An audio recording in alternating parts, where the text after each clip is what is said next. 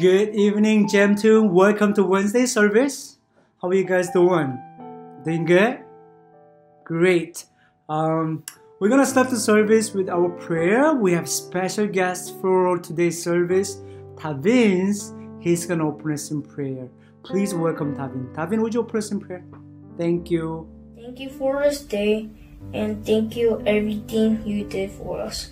And I wish it could be a great day.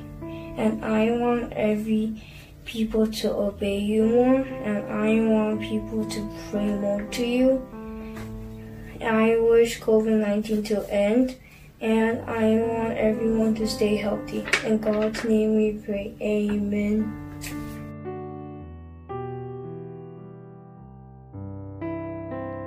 Okay, we're gonna stand up all together. We're gonna praise God together. Please, everyone, do not sit on the chair. Everyone need to stand up. Get ready. Let's praise God with all our heart. Ready, set, go.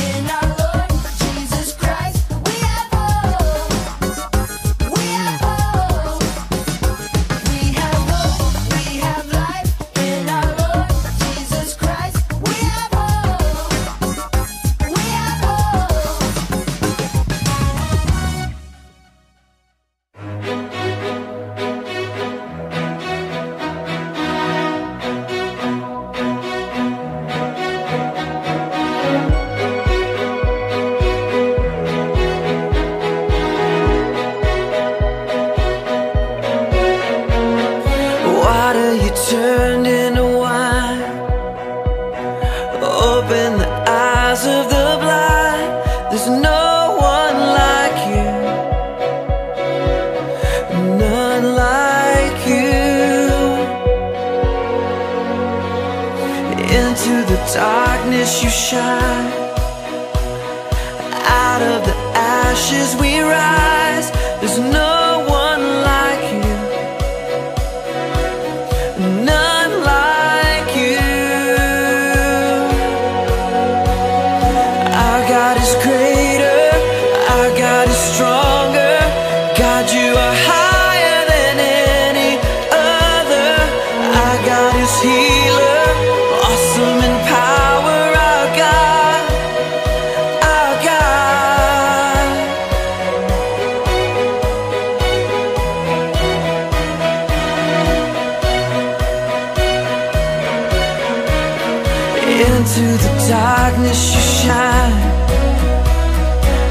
Out of the ashes. We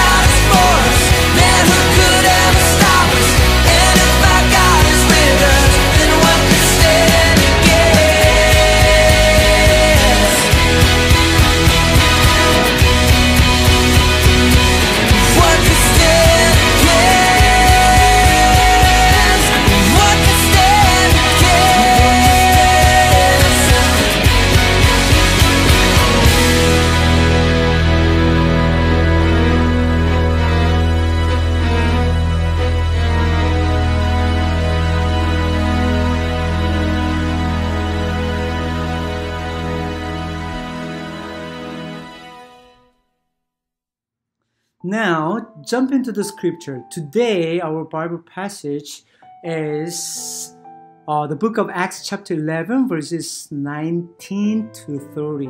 It's going to be long verses, but today, Chloe's going to read for us all, all the Bible verses. Please go grab your Bible, get your Bible, turn to book of Acts, chapter 11, verses 19 to 30.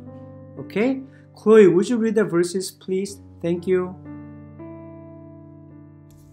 Some believers have been scattered by the suffering that unbelievers have caused them.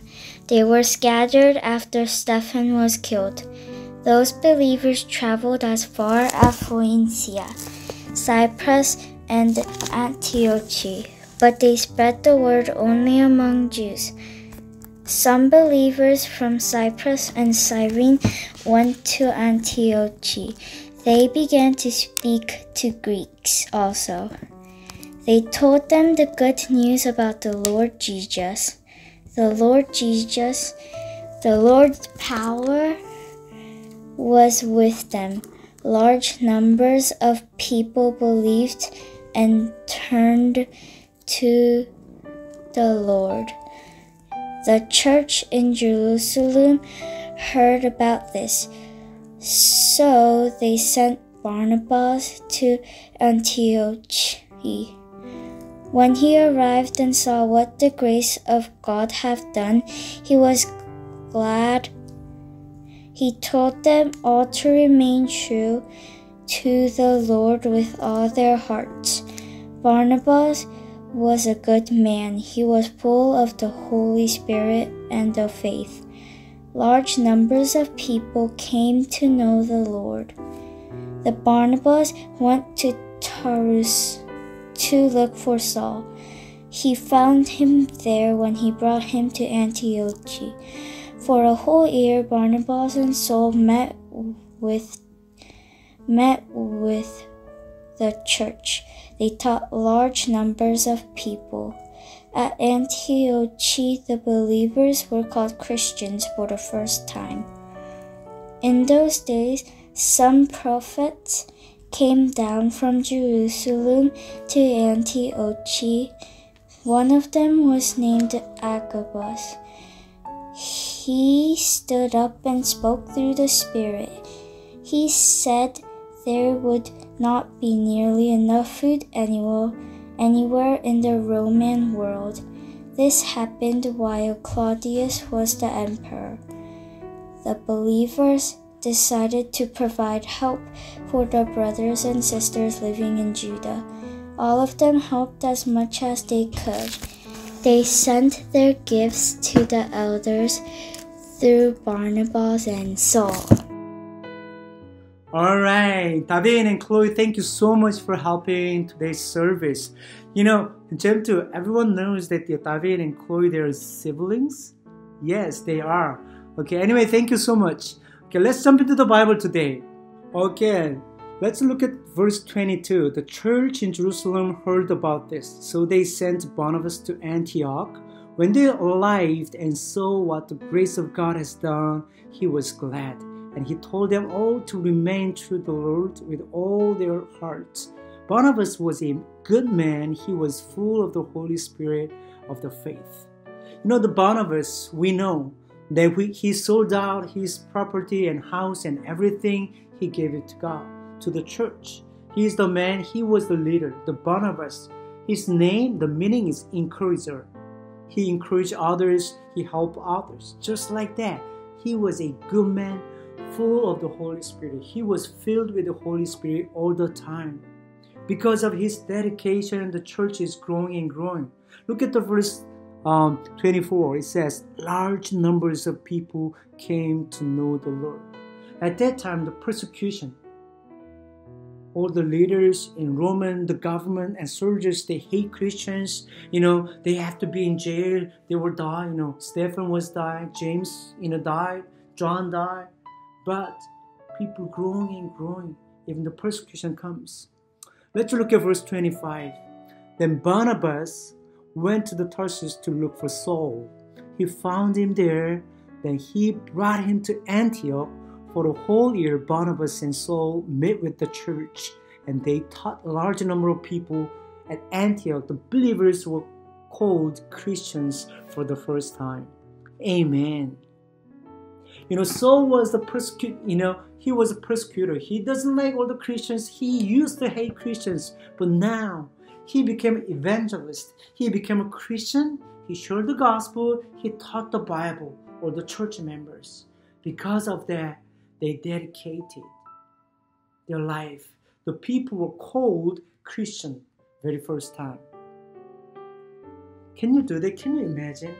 In these days, coronavirus, we cannot go out. If the government said, okay, whoever, Christians, if you go to church, we will kill you. We will put you in the jail. Do you want to go to church? Just like same situation. At the church in Antioch, the people looking all the Christians, they try to arrest all the Christians, put it in the prison. But the people, the believers, are growing and growing and growing, the large numbers. That's from God's word. How God is good, working through people's life. This is amazing. Look at verse 27. In those days, some prophet came down to Jerusalem to Antioch, and one of them was named Agabus. He stood up and spoke through the Spirit. He said there would not be nearly enough food anywhere in the Rome world. This happened with Claudius, Claudius was the emperor. The believers decided to provide help for the brothers and sisters living in Judea. All of them helped as much as they could.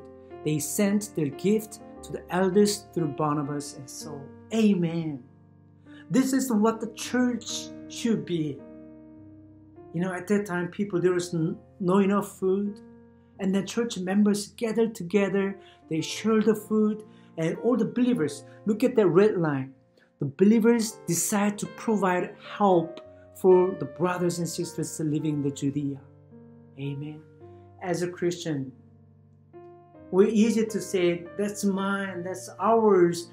I want to have this, me, mine, me, mine. I want this, I, me, mine, it's mine. Selfishness. We have to think of others. These days, people having hard time. Some of our parents lost their job. It's hard to make money these days. Then we need to pray for them as a church members, as a brothers and sisters. We need to pray each other.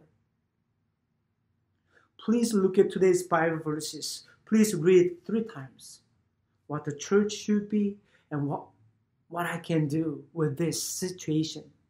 Even though the church members in Antioch, if the government persecute all the Christians, the numbers are growing and growing. Why? Even though we are getting persecuted by people, the government, we believe that Jesus is the living God. Amen. And we need to share the gospel. We need to reach out unbelievers, those who are not going to the church. We need to share the gospel. Because of the coronavirus, you don't go to school, but you you need to still meet with, with your friends by emailing, lettering, and texting, Zoom meeting. You know, just ask them to join our you know online service. That's the one of the way to share the gospel, being a witness. Gem two. Today, I I strongly recommend you guys to read these verses three times. Read again and again. Think about it, pray about it, and live out. Amen. We need to do it. Let's pray together. I'm going to give you two minutes. Let's think about how Barnabas and Paul, how they dedicated their life, how the church helped others. How can I help others? How can I share the gospel? How can I share this good news to my brothers and sisters and friends? Let's think about it and pray about it and live out. Amen.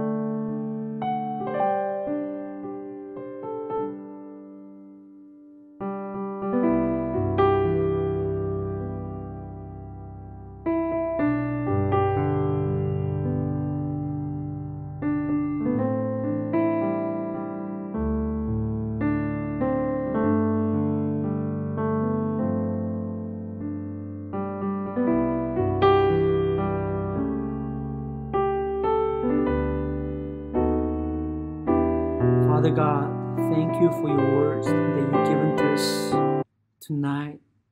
Father God, even though there were persecution. There was no freedom to believe in Jesus. But your word is so powerful. We still put our faith in you, Father. We trust in you, Father, even though we're in difficult situation because of the coronavirus. But we don't want to complain no more. But we want to thank God everything that you've given to us. This is the great chance to share the good news and gospel to the others. Father, make us to be humble and trusting you and rely on you. Believe in you, Father. This is the great opportunity we want to be. We want to be a witness to our friends and teachers and others. Father, we love you because you loved us. In Jesus' name I pray. Amen.